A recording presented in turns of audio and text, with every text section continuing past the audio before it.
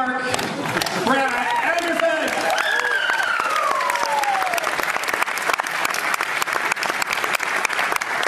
Thank you. Uh,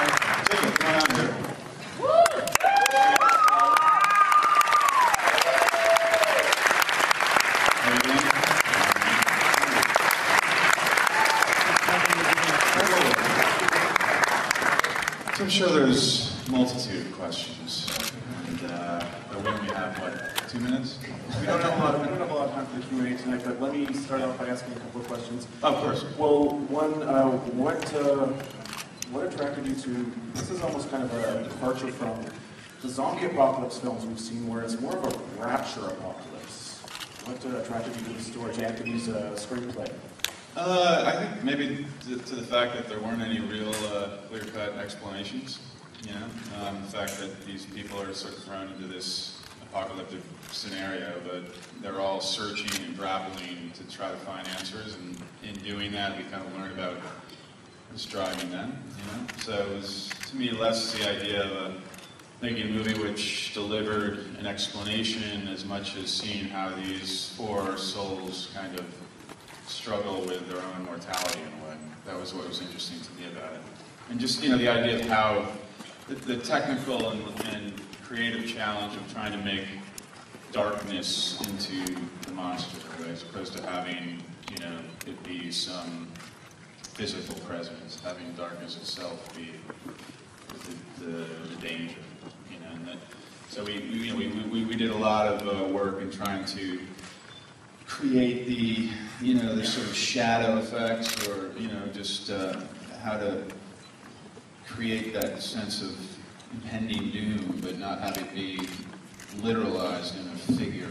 You know? Much more than when, when I first saw this, it was a work in progress, and I saw it on a very small screen. Now seeing it in space with the sound mix just makes a total difference, and you really Yeah. work on that so hard. Well, sound design is a really critical element, I think, in any sort of movie that deals with creating a dark, scary tone. You know? And a lot of the sort of elements in the, the, the sounds of the sounds of darkness, where you know there are babies screams and slowed down baby wails and backwards seal barks and all sorts of fun, fun kind of uh, noises that you know that just felt very incongruous. That was always the idea: was find noises that didn't feel like they fit. I'd like to ask you all uh, about what attracted you to the script, and also it's a very different kind of, it's a very intense performances because you're dealing with a threat that isn't really physical. And I mean, for a young actor like yourself, how did Brad give you direction on dealing with something which you really couldn't see? Well, it was pretty easy. Um, I've always worked videos like this before, and uh, it was just kind of easy just getting into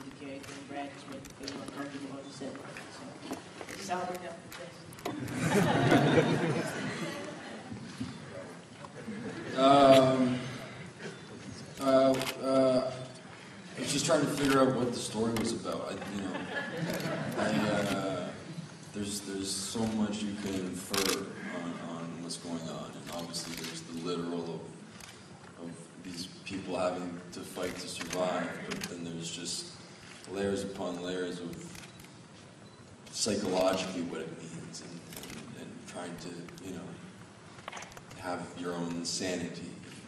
Um, and then it was just about getting to work with, you know, a good group of actors and get to work with Brad Anderson. Um, and uh, the sort of the containing of, of, the, of the movie, uh, you know, kind of felt like a play to me. So it was like getting to go Yeah. make a movie, make a play at the same time.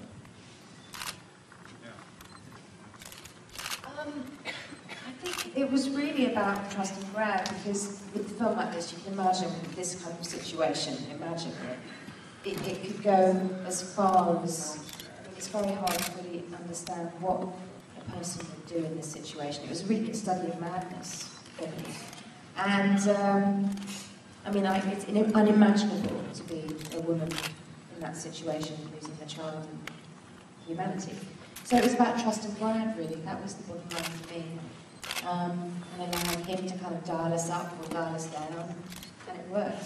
Bravo, it was amazing. That's the first time I've seen him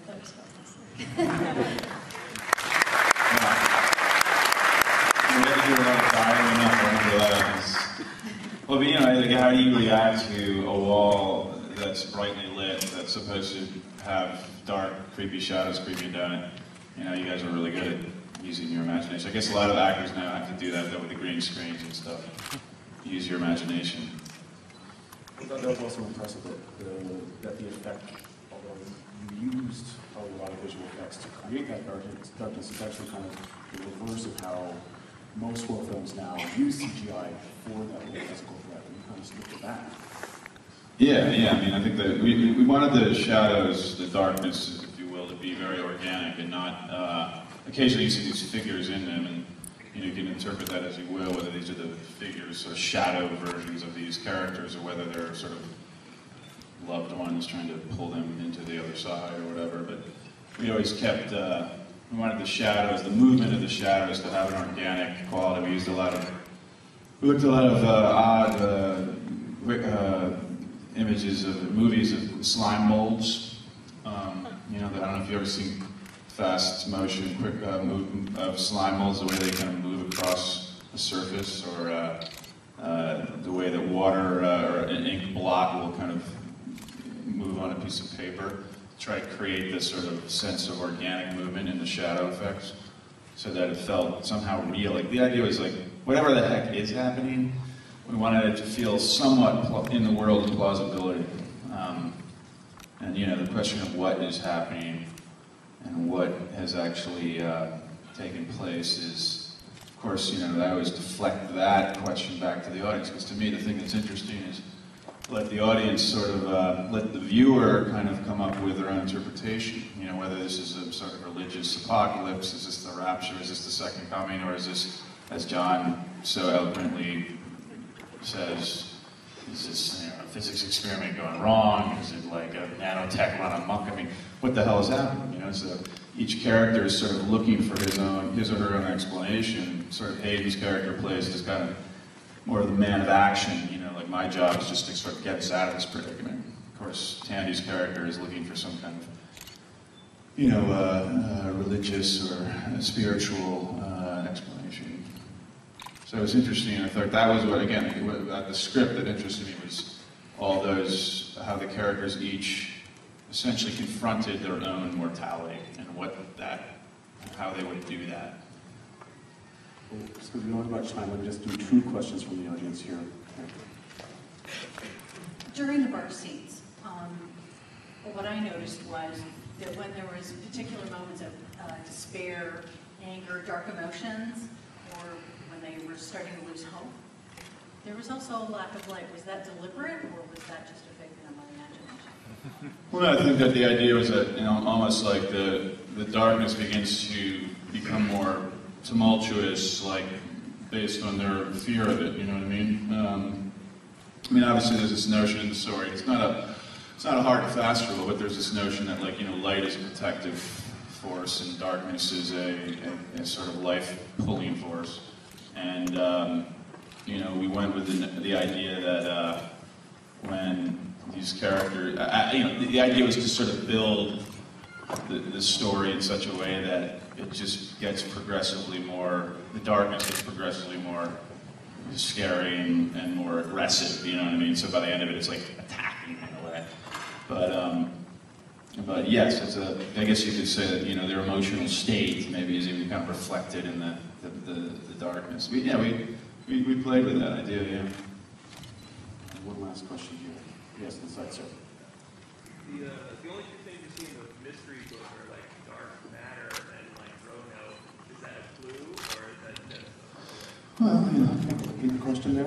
Yeah, the question was uh, in the in the beginning, John Leguizamo's character, the projectionist, is looking through a book on the kind of mys- wor- mysteries of the world, and one of them is matter versus antimatter, and the other is uh, this whole notion, this whole story about the, the lost colony of Roanoke. Uh, dark matter, right? Yeah, yeah. Well, I know the difference. Dark matter, right? The mystery of dark matter. What is it? It comprises 80% of the universe or something. Oh yeah, no, there were there were all sorts of. We, we threw in lots of other things into the pot, like explanations like that. The idea was to toss out explanations, and uh, because you know what would you do in a certain situation like that? You'd be reaching and, and striving to find some explanation for this madness, this inexplicable event. The more inexplicable it is, the more you're struggling to find an answer.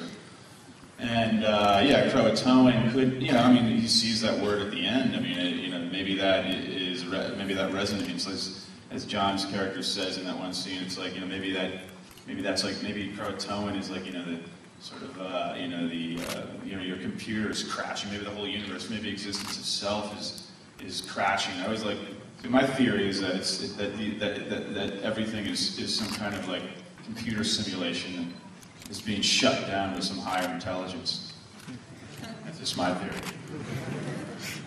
And on that note, let's hear it for Brad Anderson.